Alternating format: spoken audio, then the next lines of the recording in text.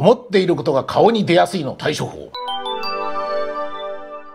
今日は、ブラシオンちゃん先生のもとに質問が来ているぞ。25歳男性、顔に出る性格を直したいです。嫌なことがあると、眉の間にシワを寄せてすぐに嫌な顔をしてしまいます。親からもよく注意されます。自分ではもうしないように心がけていますが、つい癖になってしまいます。このような場合はどうすればいいのでしょうかブラシオンちゃん先生のアドバイスは常にシンプルで簡単だその対処法とは、笑顔。笑顔だね。笑顔。嫌な表情が出るから、それを出ないように出ないようにしようという風にすると余計ネガティブな感情が頭の中になるんで余計表情が曇ってしまったりネガティブな表情になってしまうかもしれない。だから自分の悪い癖をやらないようにするというのが二重のネガティブになってきてネガティブネガティブになっちゃってよくわからないんだな。頭の中ではこんがらがあるから何かしないようにするんじゃなくいいことをするようにする。嫌な表情をしないようにするんだ脳の中がよくわからないから。笑顔を作るの方が分かりやすいだろう。だから笑顔を作るようにしよう。なんか嫌な表情になりそうになったら笑顔。なんか嫌な気持ちになってきたら笑顔。他の人と話しててなんかちょっと気になってきたら前の間に人が寄ってきたなと思ったらシワを寄せないようにするんじゃなくて笑顔っていう風に考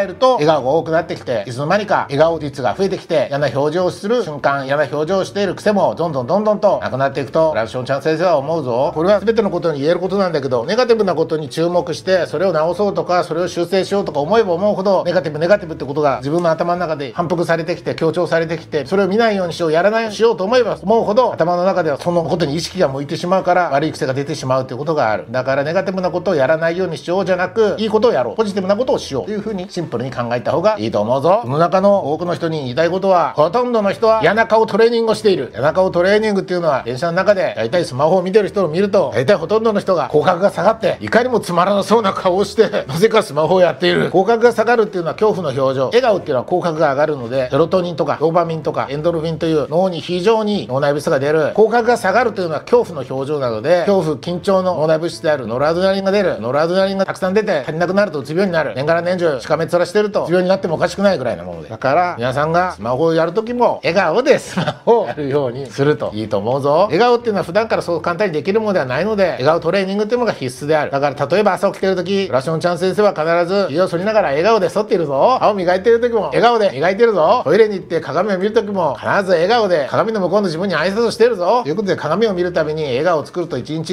67回とか多い場合は10回以上笑顔を作ることができるので鏡を見た瞬間に笑顔を作るということを癖にするだけでかなりの笑顔トレーニングができるぞ。ということで自分の嫌な表情とか嫌な部分っていうのに注目するんではなく笑顔を作るということでいろんな問題っていうのは改善する。嫌な表情を続けますか？笑顔トレーニングしますか？精神科医カバサーショーのカバチャンネル。毎日の動画を見逃したくない方はチャンネル登録をお願いします。登録はこちらから。